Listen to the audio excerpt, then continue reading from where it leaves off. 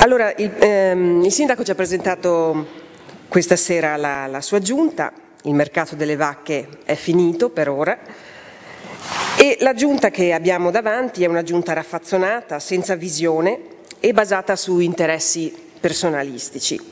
Evidentemente la dichiarazione del sindaco durante la campagna elettorale di non voler fare il mercato delle vacche non era una dichiarazione di principio, era solo come a dire che non era quello il momento giusto, solo una questione di tempo. E in questi ultimi giorni, infatti, abbiamo assistito al toto assessorato sulla base di richieste di tutti e tutte, con il sindaco in mezzo pronto ad assecondare ogni richiesta. Tra l'altro ci apprestiamo a votare una giunta dove le competenze non sono state ancora segnate perché la lotta continua. Il sindaco più volte ha ripetuto, e anche questa sera l'ha fatto, che una cosa è la campagna elettorale e un'altra è governare. Peccato che i cittadini votino anche sulla base di un programma elettorale, dando fiducia ai propri rappresentanti che sono chiamati a rispettare tale impegno e a portare avanti il proprio programma. Altrimenti la politica dà di sé quell'immagine che siamo abituati ad avere davanti agli occhi, un'immagine che spiana, che ha spianato la strada alla disillusione politica. Mentre la politica deve fare di tutto per recuperare la sua rappresentatività, altrimenti continueremo a vedere crescere i tassi di astensionismo e i partiti continueranno a lamentarsi, come si fa alla fine di ogni campagna elettorale all'esito elettorale, ma non verrà intrapresa nessuna misura per combatterla, per dare credibilità e senso alla politica, per comunicare in modo chiaro e trasparente e breve magari. Invece siamo all'inizio della consigliatura, il momento in cui si dovrebbe partire con, con grinta e con voglia di fare, e noi ci troviamo davanti a una giunta che ha al suo interno tutto e il contrario di tutto. Quanto può durare una giunta così? Una giunta i cui membri sono disposti a sbranarsi per una poltrona e possono ricattare il sindaco in ogni momento. Un governo dove il sindaco di contro diventa il catalizzatore di ogni scaramuccia, dove il programma, cesellato fino all'ultima parola, se anche venisse approvato, viene messo in un cassetto per poi lasciare che ogni assessore faccia da sé senza un piano organico. Ho sentito che molti eh, consiglieri anziani hanno visto questi punti più volte eh, nel corso delle diverse consigliature e io da cittadina ho visto che non c'è stato un cambiamento in questa, eh, in questa città per alcuni aspetti. Un programma, tra l'altro, che nulla dice però rispetto ad uno dei progetti più importanti per la nostra città degli ultimi decenni, il progetto PRU del PRU di Via Alto Adige, il centro commerciale Benco, che avrà ricadute pesantissime dal punto di vista sociale, economico, ambientale, sulla nostra città nei prossimi anni.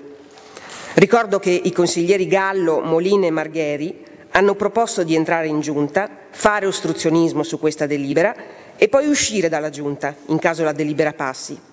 Vedremo se manterranno la loro coerenza. Il programma che il sindaco ci ha presentato cita più volte il commercio di vicinato. Addirittura si parla del contrasto alla nascita incontrollata di nuovi centri commerciali. Il Kaufhaus Benco risponde a questi obiettivi?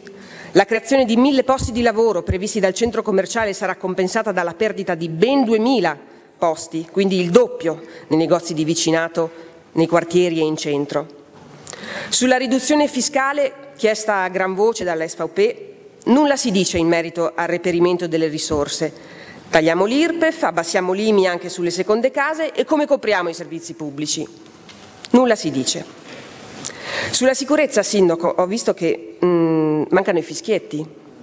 Non sono previsti i fischietti.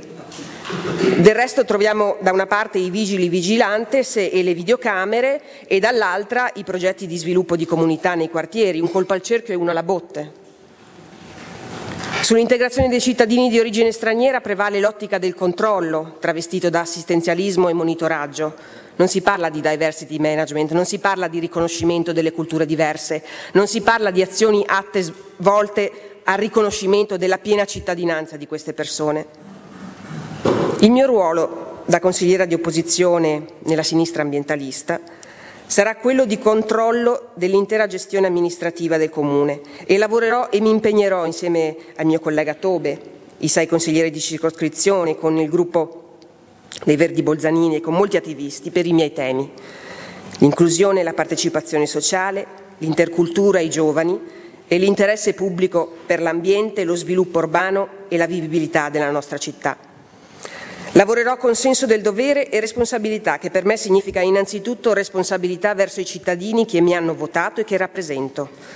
Responsabilità non significa un'armata brancaleone con una maggioranza minima, raffazzonata, in cui non si ha il coraggio di dire apertamente cosa si intende fare sui grandi progetti e le necessità della nostra città.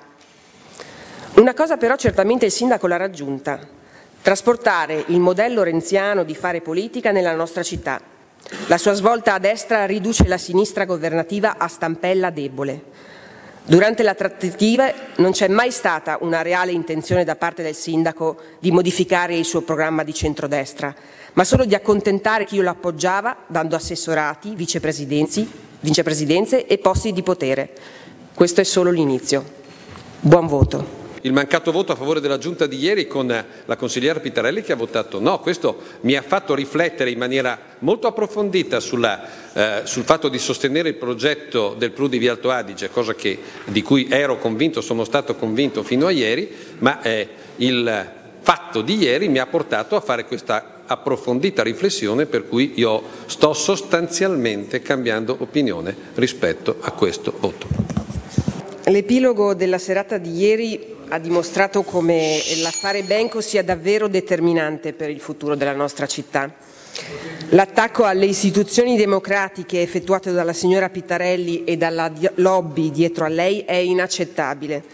Così come è inaccettabile, l'ho già detto ieri, che il, il, pro il progetto Benco non venisse citato nel programma presentato ieri dal sindaco.